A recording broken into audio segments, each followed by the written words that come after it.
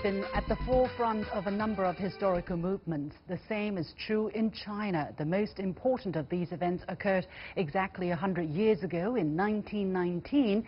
Young Chinese intellectuals sparked the anti-imperialism, anti-feudalism May 4th movement, which planted the seeds for a broader social revolution years later, led by the Communist Party of China. On Tuesday, Chinese President Xi Jinping commemorated the patriotism of those Chinese one century ago and urged today's youth to see them as a source of inspiration. So what's the legacy of the May 4th movement 100 years later? What are the most important lessons to learn which today's youth should apply to modern China? Welcome to a special edition of The Point with me on this subject as China looks to build itself into a strong socialist country. Joining me here in the Beijing studio are Liu Zheming from Schwarzman College and the School of Journalism at Tsinghua University and uh, Kazuki Miyazaki, a Yenching Academy scholar from Peking University. Miyazaki is also engaged himself in the Asian Future Leaders Scholar Program. But before we go into the discussion, let's first take a look back at those turbulent times. 1919 would be the year that sparked China's renaissance. Thousands of students gathered at the center of Beijing's Tiananmen Square on the afternoon of May the 4th. What they were demanding was defend China's sovereignty, punish the traitors. The May 4th movement came after Beiyang government's failure in diplomacy. As one of the victorious nations of the First World War, China's legitimate demands were rejected at the Versailles Peace Conference in Paris. The peace treaty transferred German interests in China's eastern province of Shandong to Japan. When the news reached China, fury gripped students and intellectuals. My father and other students were outraged at the prospect that Chinese territory would be taken over by Japan. Soon, Chinese from all walks of life joined the movement as it spread across the country. Around two months later, Chinese representatives refused to attend the signing ceremony at Versailles. The May 4th movement had achieved its goal. But this was only the beginning of a new chapter in China's history of struggling against imperialism and feudalism. It marked the start of China's democratic revolution. People who joined the May 4th movement were pushing for new ideas that would enable China to stand on its feet. Marxism started to be introduced and thoroughly discussed in newspapers. It gained wide public acceptance with the integration with the emerging worker forces. The emerging thoughts and experiences from the May 4th movement set the stage for the establishment of the Communist Party of China three years later. The legacy of the May 4th movement has been passed down for a hundred years, including patriotism, progressive mindset, democracy and science. We follow the spirit of the May 4th movement in our work and will pass it on to our students. In 2019, the ideas and spirit of May 4th movement continue to inspire the younger generations to work for national rejuvenation. And uh, let me welcome two representatives of youth in China and in Japan to talk about this very important subject. Um, as I mentioned, uh, President Xi Jinping gave a very important speech on the 100th anniversary of the May 4th movement in which he said that the May 4th movement was an anti-imperialism and anti-feudalism revolution and it promoted the spreading of Marxism in China, marking a turning point in contemporary Chinese history. Um, in his speech, he actually described the May 4th movement in three ways, which are uh, very profound. For instance, he called it a great patriotic revolutionary movement against imperialism and feudalism, as we've learned, that uh, has been spearheaded by progressive young intellectuals and joined later by people from all walks of life. That it was a great social revolutionary movement by the Chinese people to save their nation, to safeguard their dignity and build national cohesion, and a great enlightenment and new culture movement to spread new thoughts, new culture, and new knowledge. Mm, I want to go to Zheming 1st mm -hmm. um, you are also actually from Shandong province, right? Yeah. Exactly the subject of the dispute there. So as a young student, what is the May 4th spirit to you?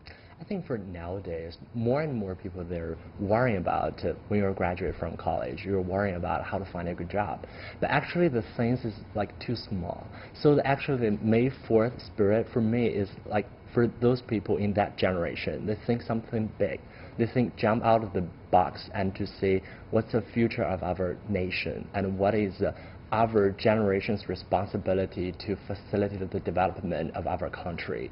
So if only if you stand on this position level, you can like first pursue more than your only like individual benefit, but you think something more. Kazuki, yeah, right. your interpretation of the May 4th movement, I understand you're from Japan, but you spent, a uh, you spent over a year in Beijing University, Peking University, I should say. Actually, many of the students uh, in that demonstration 100 years ago came from Peking University. So having been on that campus for a while, what has been your understanding and your observation of the May 4th uh, spirit?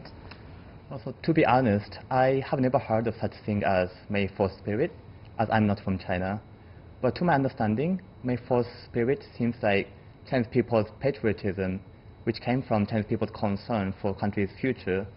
And then that shows Chinese people's resolution to protect country from foreign countries. So that's mm. my understanding on. May 4th spirit.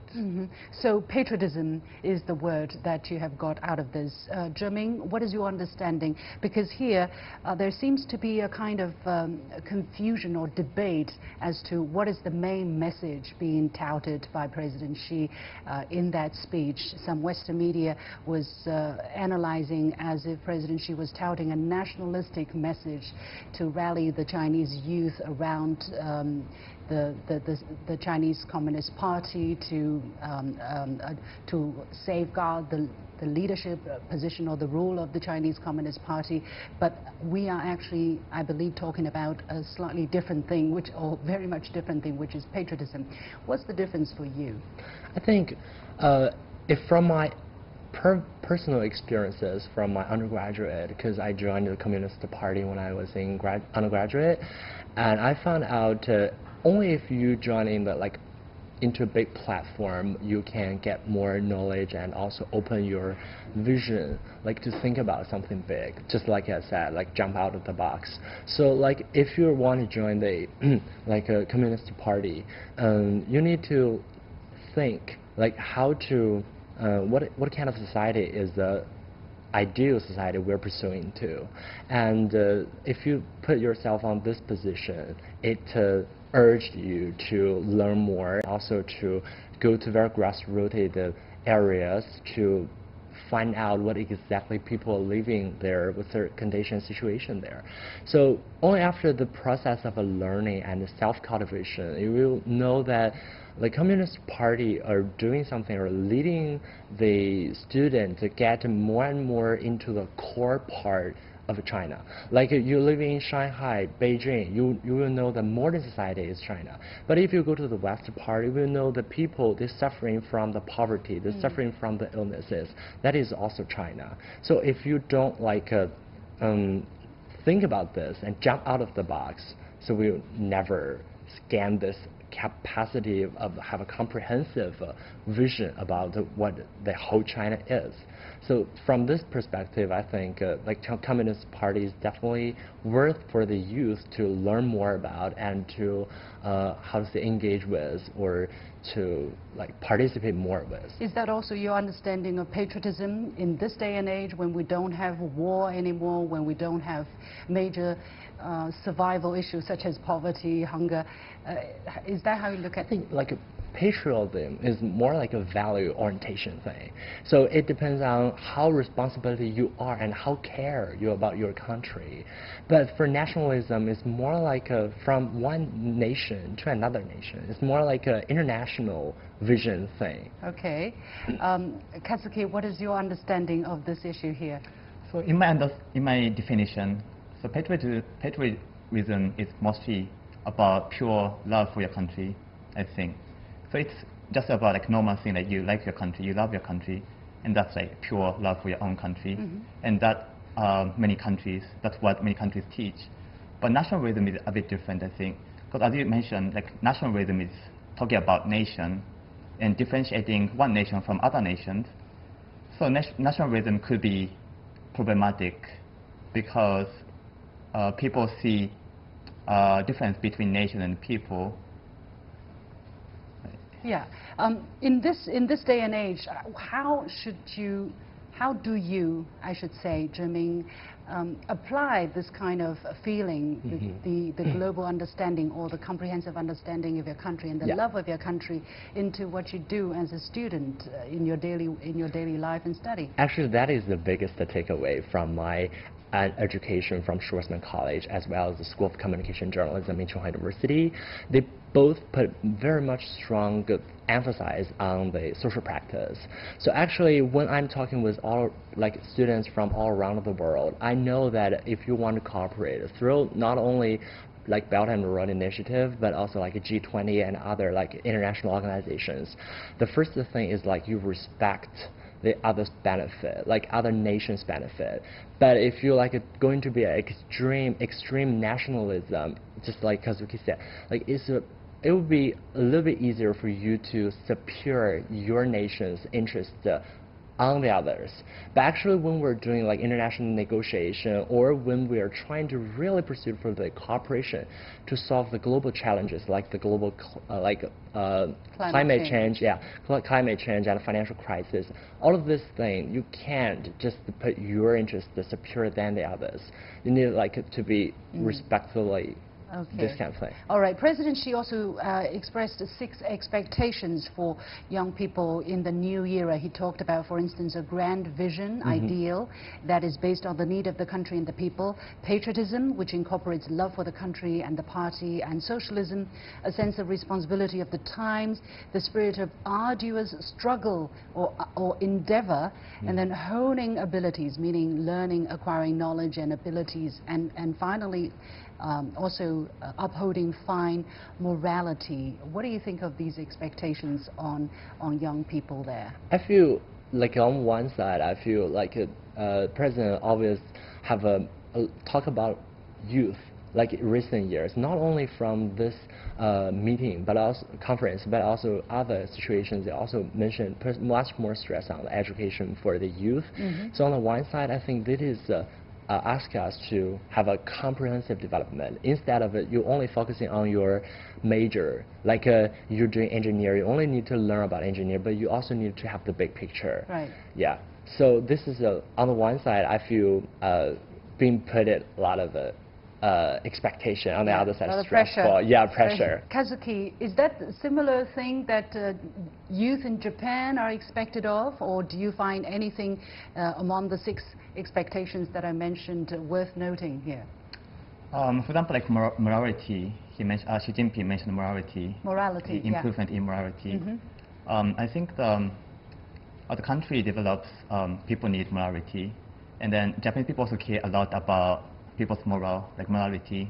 So I think um, that's also the value, like similar value we share to improve in our society as the society develops. Yeah. I think that, yeah. Yeah. Zheming, how important is morality uh, for today's young people? Because President Xi not only mentioned the six, six um, expectations, he also specifically cautioned uh, young people against some wrong thought, wrongful thoughts, for instance, hedonism or, or uh, you know, a lavish lifestyle or um, some other habits or some other traits which are associated with a consumer, a post-consumeristic society which has got, where life has gotten so comfortable, Yeah. it, it gets so easy to relax and, and, and be complacent. What do you think of that aspect? like being a lifestyle like everyone like can choose but it doesn't mean morality speaking it's right so uh, if we being very extravagant or like just like uh, what we criticize on the media recently years, like people should pay attention to. But from the root, I think that is also your vision thing. Like if you pursue to materialism, like this kind of life as the end of your life, one can easily achieve uh, their goal in this generation because we're booming our economy very fast and you can gain your your fortune at one night. So what what will you do after all of this? So this is what you need to think behind that. And uh, Mm. for edu for advanced education, like, it should give people more things like this, like value orientation thing. Maybe that's the reason why the May 4th movement is worth reflecting on, is worth Yes, talking about definitely. and stressed at this moment. Well, many thanks to Liu Zheming from Tsinghua University and Kazuki Miyazaki from Peking University. You have been watching The Point. We'll take a short break and we'll be back to talk more about the 100 years after the May 4th movement. Stay with us.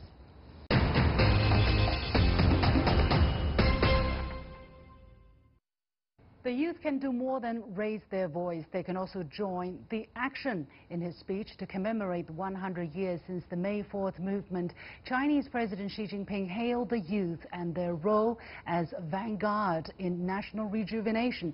To the Chinese society, that means returning the nation to a prominence in the world that it enjoyed for centuries until it became subjugated by Western gunships some 200 years ago. So what is the role of young people there? What does the May 4th spirit of patriotism, progress, democracy and science mean for young student entrepreneurs as their country stresses innovation at home and connectivity abroad? Joining me here in the second part of our special program are Zhang Yichi, founder and creative director of Flip the Script, a personal branding consultancy based in Beijing, and Moaaz Awan, managing director of Global Silk Route Enterprises, which introduces Pakistani handicrafts and tourism to the Chinese market. Gentlemen, welcome to the point. Um, Yichi, let me go to you first. I want to mention a little bit about President Xi talked about uh, in his speech to commemorate the 100 years of the May 4th movement. He particularly talked about a lack of uh, 奋斗精神. Um, in, in English, the, the best I can find is the lack of the spirit to, to fight for a cause that you believe in, to, to persevere and endure the difficulties, but continue to fight until you reach your goal, um, despite all of the difficulties. During the revolutionary years, during the early years of the uh, Chinese, of the People's Republic of China, this spirit was very much alive, but it seems that as our life gets better, as our living standard gets higher, it seems that the younger generations today do not have this kind of spirit or are in the danger of losing it. Is that how you feel? Um, do you think that is an important aspect to stress so that Chinese, the Chinese nation, the Chinese people can continue striving for goals further uh, along the line? Uh, yes, I, I, I believe, um, first, I believe that that is extremely important for the young leaders young uh, professionals to, to work hard and ha- fight for the cause. And I, I do believe that in my generation, the people that I'm around with, um, they are fighting for the cause. They are um, innovative. They work extremely hard.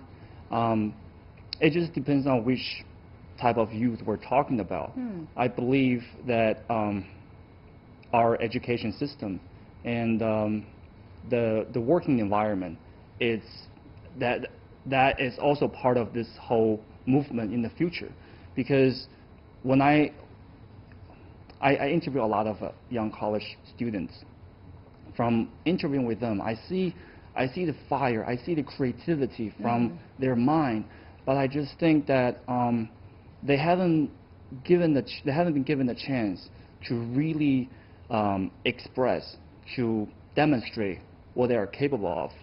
I believe the the shift or the upgrade of our education system and also the whole working environment will boost this spirit of fighting for a cause in China's future. So you think that the fire is there, the passion is there, it's just that they haven't been able to find, um, or the, the channel is not there for them to express that kind of, to, to put their spirit of fighting into practice. I, I certainly believe so. Um, just one quick little, ex- uh, very simple example. Uh, one of the, the guys working for us right now, he's, he does video, he does editing, but his major in college was accounting because he wasn't able to find the right major for him. But um, he, he fell in love with skateboarding. He fell in love with sports. He started to learn how to shoot and cut the videos when he was a freshman. Now he's about to graduate. and his ability, his creativity, is just firing the wall. Hmm. It's amazing. What does that have to do with the May 4th movement? I mean, you agreed to come and come to the show and talk Right. about it. Do you see a connection, a slight connection between what happened 100 years ago, what propelled those young students 100 years ago with the kind of fire that are propelling this student example that you mentioned to do something completely different?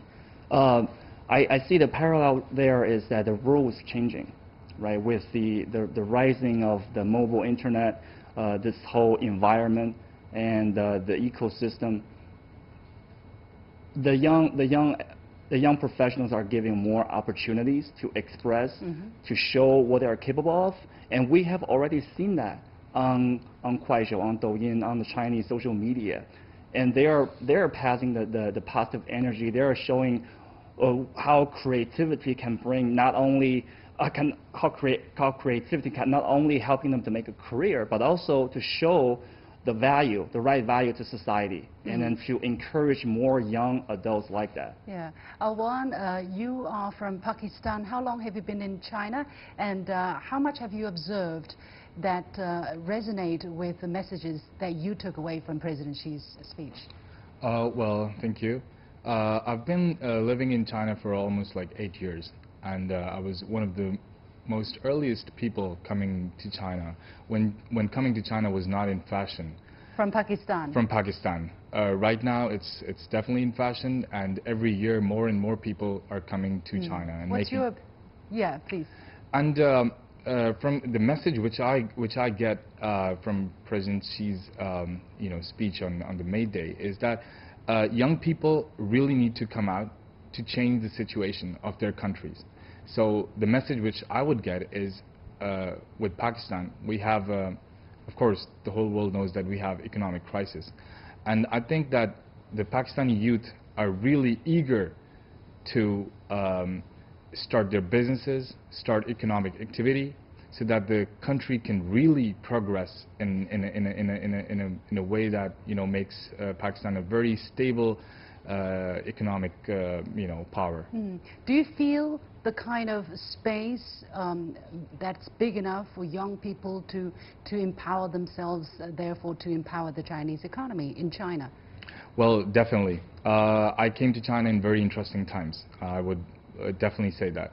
Uh, while I was in college, and uh, mostly when I just had classes, I observed that the Chinese entrepreneurship uh, um, conditions were really changing.